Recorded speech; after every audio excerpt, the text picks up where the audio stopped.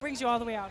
Well, this is my community. I live right here. And not only that, but this is a national film festival, the Dominican Film Festival, the eighth year. And so this is a very big event uh, for the entire city and the entire country. And so I'm here in order to basically uh, watch the film myself, and especially uh, the first film that's being shown tonight is about a family that's dealing with a child's, uh, their children's uh, needs. And so obviously the child is autistic, and as a result of that, it shows the love and respect and how the family works to give this child everything they need to be successful. And that's what life is about. The parents, we expect the parents to do their best to help their children. And as a parent of three beautiful girls, I'm all for it 100%. So this is an opportunity for all of us to come together, uh, Dominicans and everyone else, in order to celebrate the eighth uh, annual Uh, Dominican Film Festival.